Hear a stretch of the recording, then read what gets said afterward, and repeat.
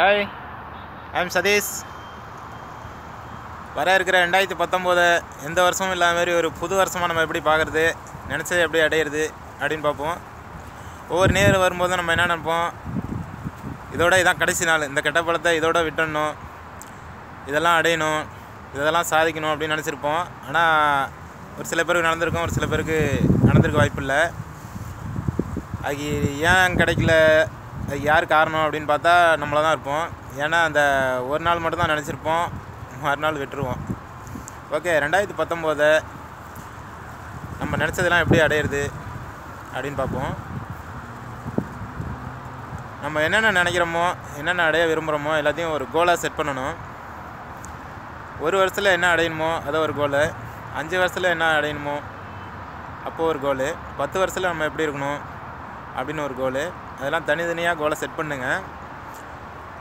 Set பண்ணி நம்ம அதை நினச்சதை அடையிற வரைக்கும் எக்ஸாம்பிள் இந்த ஒரு வருஷத்தில் உள்ள கோல் எப்படின்னா ஒரு பைக் வாங்கணும்னு நினைக்கலாம் ஒரு கார் வாங்கணும்னு நினைக்கலாம் ஒரு வீடு வாங்கணும்னு நினைக்கலாம் ஒரு நல்ல வேலை கிடைக்கணும்னு நினைக்கலாம். அதை கிடைக்கிற வரைக்கும் எனி டைம் குளிக்கும்போது சாப்பிடும்போது தூங்கும்போது எனி டைம் அதே சிந்தனையில் அதே சிந்தனையில் இருக்கணும். அதை கிடைச்ச மாதிரி ஃபீல் பண்ணணும்.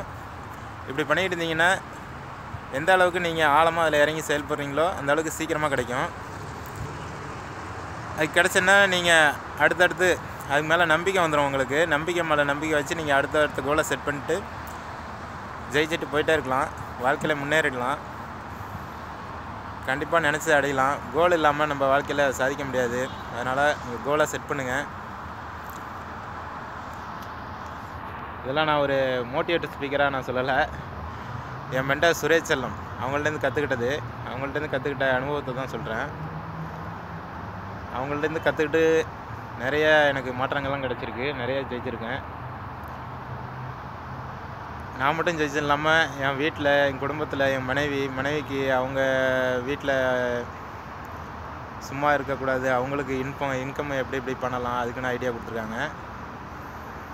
என் குழந்தைகள்கிட்ட சேஞ்சஸ் உருவாயிருக்கு. எப்படின்னா காலையில் எழுந்திரிக்கும் போது எப்படியும் அழுதுகிட்டே எழுந்திருப்பா ஸ்கூல் போகிறதுக்கு ஏழு மணி ஏழரை மணிக்கு எழுந்திருப்பா. இதுக்கெல்லாம் என்ன பண்ணுறது அப்படின்னு பார்க்கும்போது என் மென்டர் ஒரு வீடியோ போட்டிருந்தாங்க. கெட்ட பழத்தெல்லாம் எப்படி விடுறது அப்படின்னு. ஒரு சிகரெட்டு பிடிச்சோம்னா நூறு ஒவ்வொரு நடை பிடிக்கும்போது ஒரு நூறுரூவாய் கழிச்சு போடுறது. காலைல லேட்டாக எழுந்தோம்னா துணியை எரிச்சிடுறது. அப்படின்னு சொல்லியிருந்தாங்க. அந்த வீடியோ எனக்கு நாம் வந்து என் மனைவிட்ட சொன்னேன். இதேமாரி சொல்லு அப்படின்னு.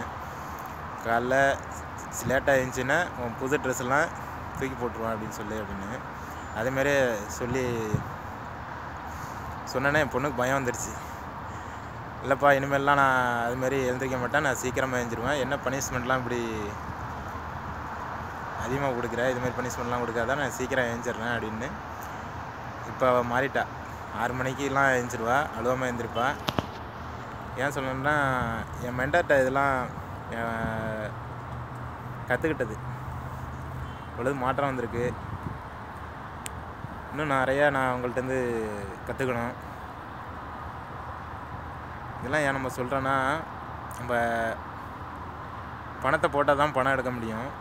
அதேமாரி நான் இதுமாரி ஒரு ஒவ்வொரு அனுபவத்தை சொன்னால் தான் எனக்கு அடுத்தடுத்த அனுபவம் கிடைக்கும். அதனால தான் நான் சொல்கிறேன் ஓகே கண்டிப்பாக வாழ்க்கையில் ஜெயிக்கலாம். கோலை செட் பண்ணுங்கள் ரெண்டாயிரத்தி பத்தொம்போதை ஒரு புது வருஷமாக பாருங்கள் எந்த வருஷம் இல்லாத மாரி புது வருஷமாக லைஃப்பை ஸ்டார்ட் பண்ணுங்கள் லைஃப்பில் வாழ்க்கையில் ஜெயிக்கலாம். கண்டிப்பாக முன்னேறலாம். ஆல் தி பெஸ்ட் அனைவருக்கும் இனிய புத்தாண்டு நல்வாழ்த்துக்கள். தேங்க்யூ